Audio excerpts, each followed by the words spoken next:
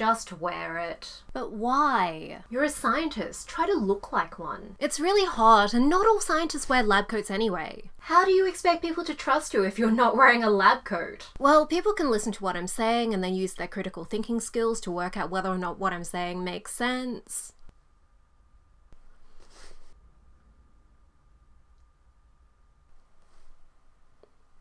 Okay, fine.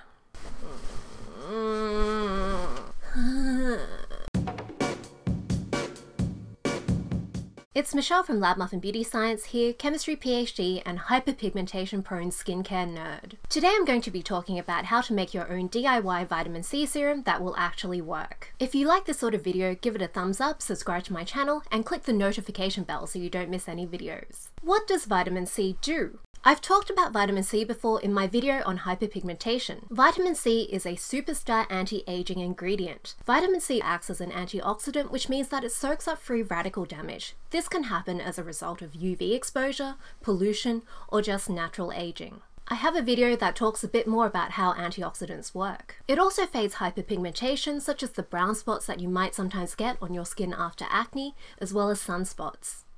But the big problem with vitamin C is that it tends to be really unstable. This is especially the case with L-ascorbic acid, the main type of vitamin C that's been shown to work in anti-aging products. When L-ascorbic acid is in a water-based product, it tends to decompose really easily. It turns into yellow dehydroascorbic acid, DHA or DHAA, and other products really quickly. At 25 degrees and pH 3.5 in amber glass, which is light protective, about 50% is gone in a week. DHA can convert back into L-ascorbic acid on your skin, and there's no good evidence that it's bad for your skin, but there's not really much evidence that it's good for your skin either, and it can turn into other products too. You can stabilize L-ascorbic acid by combining it with some other ingredients. A lot of products take this approach, they usually combine it with vitamin E and ferulic acid. This is done in a lot of popular vitamin C serums such as the ones from SkinCeuticals, Paula's Choice, Timeless, and Drunk Elephant. But if you want to DIY this combo, then it's a bit more of a hassle. You'll have to buy extra vitamin E and ferulic acid,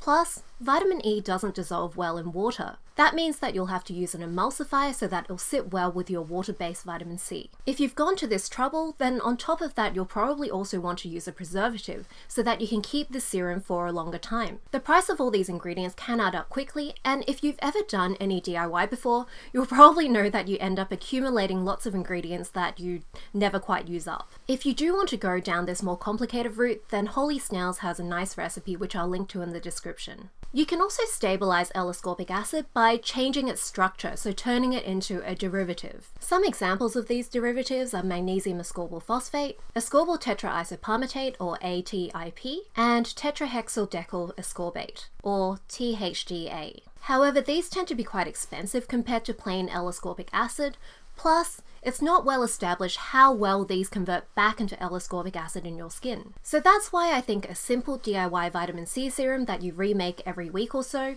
is a nice solution to some of these problems. I generally find DIY a bit of a pain, you have to buy all these ingredients, you have to mix them together, you have to play around with the formula, and there's all this washing up that you generally have to do afterwards. But this DIY serum doesn't have a lot of these drawbacks.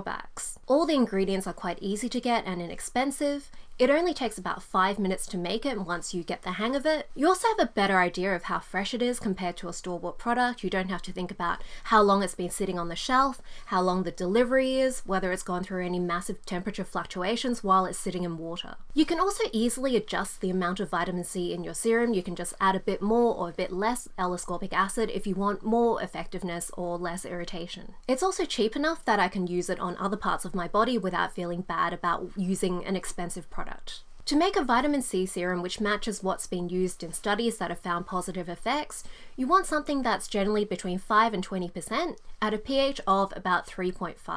So here's what you need for this DIY vitamin C serum. First, you need L-ascorbic acid powder. As a dry solid, L-ascorbic acid is reasonably stable and cheap. You can find this at most supplement stores or you can order it off iHerb like I did. There are also lots of options on Amazon. You also want some distilled or deionized water. Metal ions in your water can speed up how quickly L-ascorbic acid decomposes. You can also use tap water and just make sure you remake your serum more frequently. You'll also need some baking soda. The pH of L-ascorbic acid by itself in water is going to be a bit too low. It's a bit too acidic, which means that it'll cause unnecessary irritation. Baking soda is alkaline, which is the opposite of this, and so we can use it to adjust the pH back up closer to skin pH. You'll also need some pH strips. It doesn't need to be really, really precise, so any indicator strips should work. I generally prefer four square indicator strips so I don't have to second guess my colour matching abilities. You'll also want a quarter teaspoon measuring spoon. A quarter teaspoon translates to about one and a half grams of ascorbic acid, but it does depend on your particular powder. Ideally, if you weigh it out, it's a bit more accurate, but because there's so much leeway in the percentage of vitamin C that we can use in this serum, then it isn't a massive issue for this specific recipe. Of course, you'll also need a suitable container to store your vitamin C serum. You want an airtight-ish clean container. It doesn't have to be truly airtight because you'll be remaking this quite frequently. If you have an old container, you can clean and reuse that. You can also use some aluminium foil to protect your vitamin C serum from light. So here's how you make your DIY serum.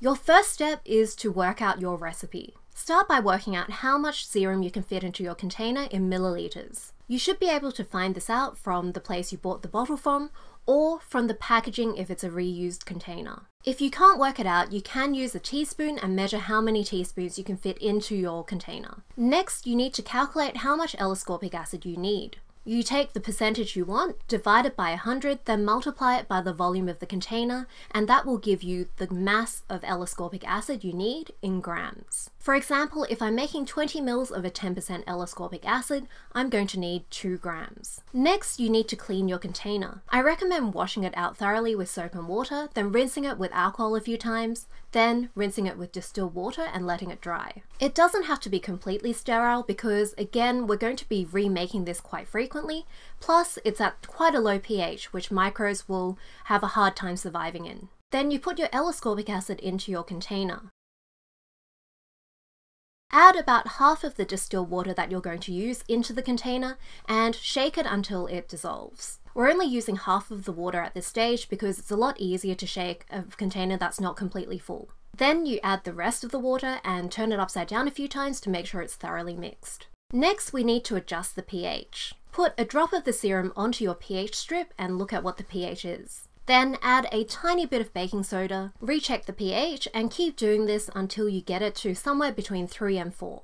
Finally, you can wrap your container up in foil to protect it from light. This is the easiest and cheapest way of protecting something from light, and so this will slow down how quickly your vitamin C serum decomposes. With light protection, I found that this DIY serum lasts about one week before going a little bit yellow, and then two weeks before it goes really yellow. The pH is low enough that microbial growth shouldn't be a big issue, and you're not keeping it for very long. Once you're used to this process, it probably takes less than 5 minutes to remake, so even someone who's pretty lazy like me can remake it quite frequently. I hope you enjoyed this video and found it useful. If you did, click the like button and subscribe to my channel. You can also follow me on Instagram at LabMuffinBeautyScience and check out my blog for more nerdy beauty science. See you next time. Are you a scientist or a scient isn't? I am so sweaty.